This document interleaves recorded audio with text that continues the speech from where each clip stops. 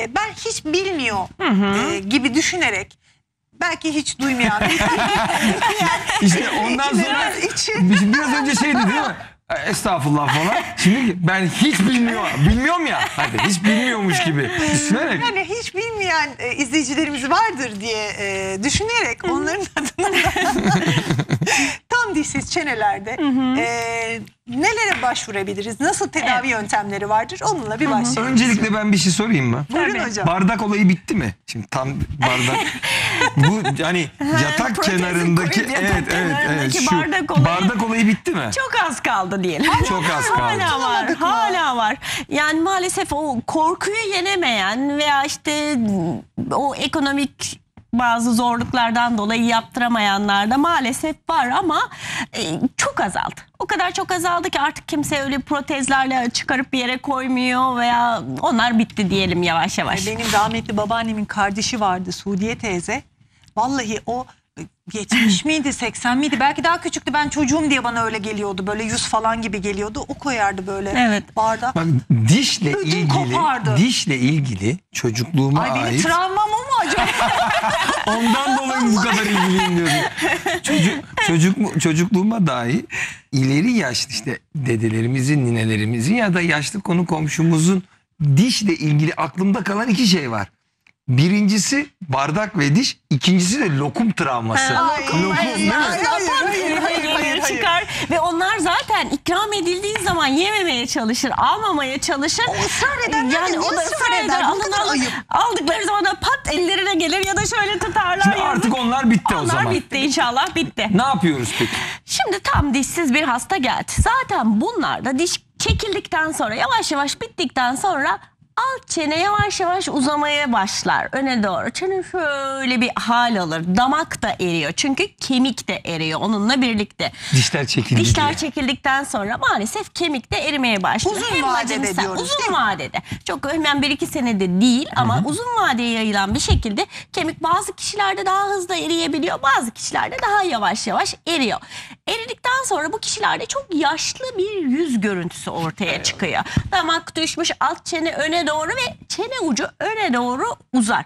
Bu kişinin kendi görüntüsünü de kötü olarak hissettirdiği için zaten psikolojik açıdan da bir miktar daha kötü olarak geliyorlar.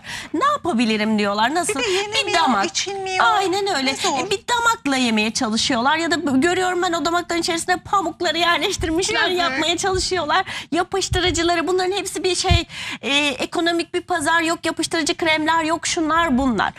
Aslında çok özür diliyorum hocam sözünüzü Aha. kestim. Ee, bu tip e, şeylere başvurulduktan sonra uzun vadede hem maddi hem de manevi daha çok, çok zarar daha görüyorlar. büyük zarara gitmiş oluyor aslında. Aman dikkat Aynen diyelim. öyle.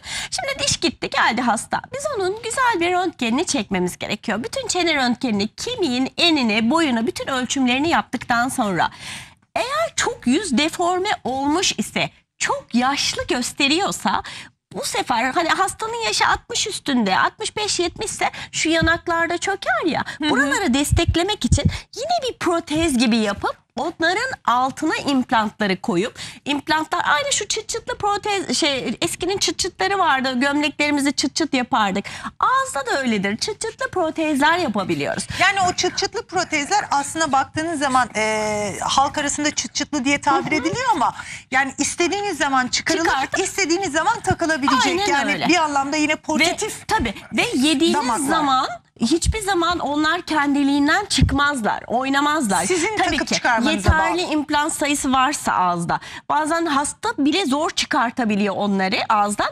Bunu niye yapıyoruz? Eğer hastanın söylediğim gibi yaşı çok ileri ise, yeterli kemik yoksa ve yumuşak dokuyu desteklesin dışarıya daha güzel, daha estetik görünsün diye.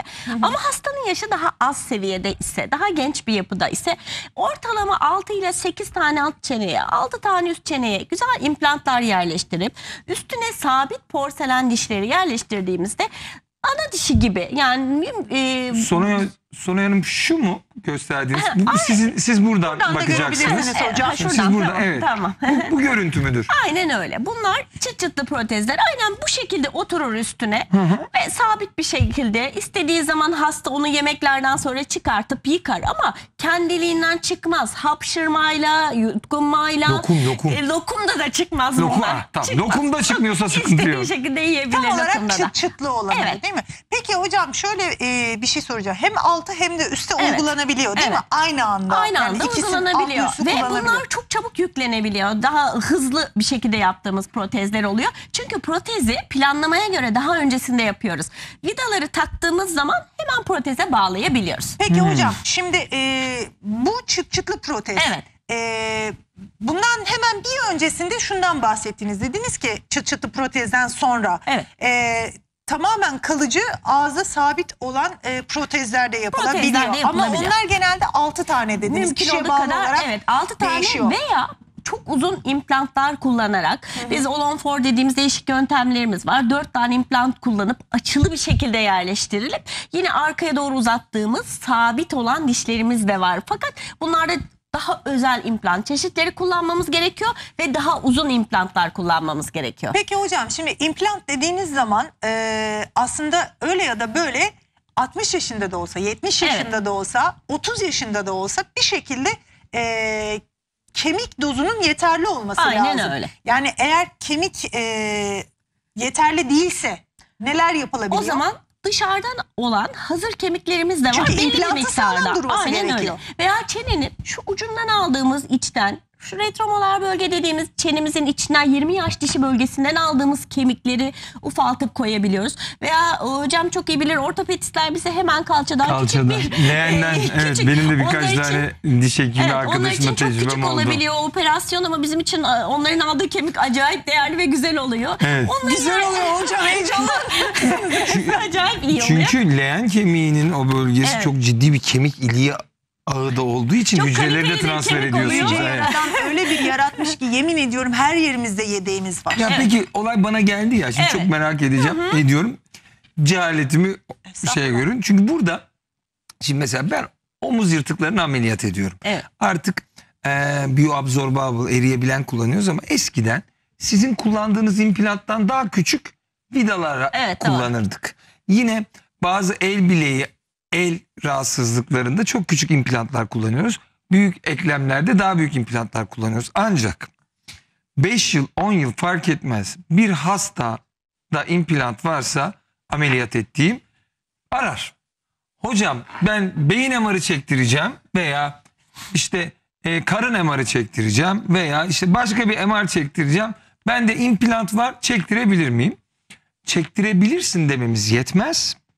Artık tabii e, kartlar hazırlıyoruz hastalarımıza. Biz taburcu olurken e, işte e, mevcut implantı ile ilgili bilgiler var üzerinde. İşte MR'a girebilir veya giremez. Giremeyen yok da MR'a girebilir. Şimdi diş hekimlerini de böyle arıyorlar mı? Hem de nasıl hemen hemen her hasta. Gerçekten Yapıldıktan sonra hatta o X-ray cihazlarından geçerken Öter mi? ötünce Ötüyor mu? ötmüyor. Normalde o implantlar Saf- titanyum. evet, saf titanyum. ötmez. Fakat her hasta ötmeyi ona bağlıyor. Yani diyor ki benim ağzımda implantlar vardı öttüm anlatamadım ben bunu polise görevliye anlatamadım. Halbuki ondan ötmüyor. Muhtemelen başka, Başka bir şey. Ama hocam X-ray şöyle bir durum ötmez. var. E, implantın haricinde sadece implant değil yani e, metal destekli metal desteksiz onlar yapılan farklı bir şey. uygulamalar var. Aynen Ağızlara öyle. zirkonyumlar var.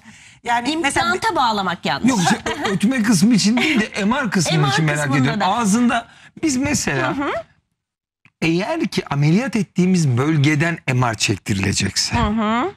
e, acil şartlarda değilse mesela bir 45 gün ne olur ne olmaz MR uyumlu olduğunu bilmemize rağmen 45 gün evet, yaparız. Yani acilse hiç düşünmeyiz. neden Ama peki hocam? Yani sonuçta titanyum MR uyumludur. Ancak yeni yerleştirilmiştir. Çok ciddi bir manyetik alana giriyorsunuzdur. Onu acaba zorlar mı? Ama İyileşmesini bozar mı ben diye bel, amel- tabii bel, bel ameliyatı yaptıktan sonra başka bir sebepten dolayı birçok hastamın gerekiyor. karın MR'ı, bel MR'ı hemen çekildi.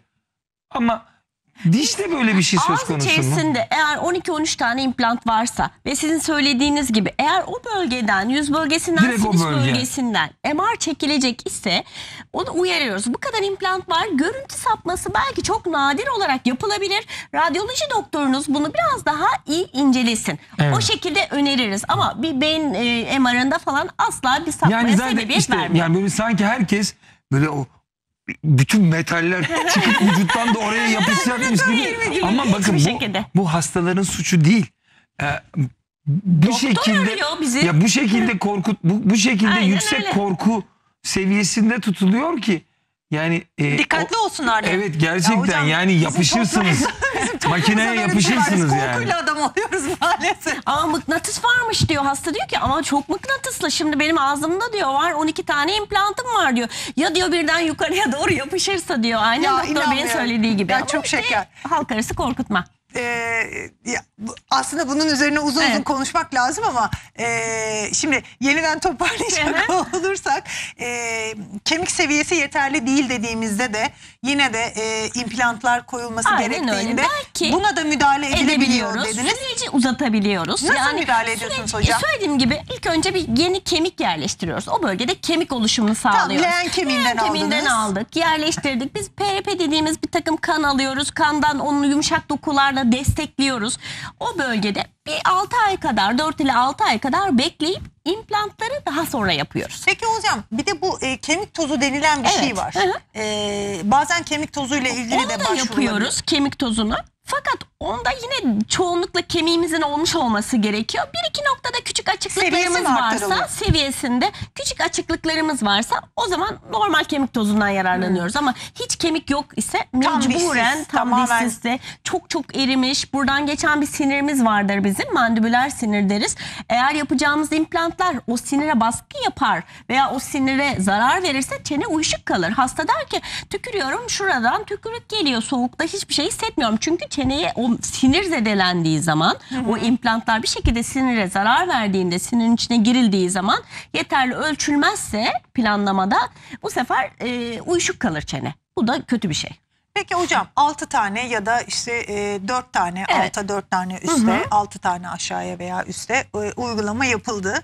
E, eğer kemik tozuyla tamamlanabiliyorsa kemik tozuyla tamamlandı veya protezler yardımıyla bir şekilde e, implant tamamlandı. Peki bu süreç sonrasında nasıl ilerliyor? Şimdi ilk etapta yerleştirirken hastanın yaşı, kullandığı ilaçlar, kemiğin kalitesi bunların hepsi etkili. Kronik rahatsızlıklar Kronik olsa rahatsızlığı gerek. var mı? Bir şeker hastasında kontrol altındaysa tabii ki yapıyoruz. Ama bundaki bekleme süresini biraz daha artırıyoruz. Mutlaka biraz daha. Ortalama biz deriz ki 2-3 ay deriz. 5 haftada yüklüyoruz aslında ama ortalama hani halk arasında alışmışız. 2-3 ay bekleriz şeklinde söyleriz. Onu yerleştirirken implantı bir tork gücümüz var. Bizim yerleştirdiğimiz makinede. O tork gücünün kuvvetine göre implantın kemikle kaynaşıp kaynaşmadığını anlarız. Biz onu hemen not ederiz. Veya bazen hasta derse ki bize ben işim var yurt dışı hastası oluyor erken olması gerekiyor. Çok var yurt dışından Evet, gelen. Bu yükü ölçen özel makinalarımız var. İmplanta koyduğumuz zaman üstüne hani bu yüklenebilir şeklinde bize e, cevap veren o e, makinalarımız var. Onay veriyorlar. Onlarla faydalanabiliyoruz. Ortalama ama süreç eğer herhangi bir bunlardan birinden faydalanamıyorsak 2 ay 3 ay kadar bekleyip üstüne e, sabit bir protez yapacaksak üstüne bir porselen için olan yapıları takıp porselen ölçümüze alıyoruz sabit bir şeyde ki bu da en fazla bir haftalık bir süreci alıyor. Bir hafta sonra hasta rahatlıkla yemeğini yiyebiliyor.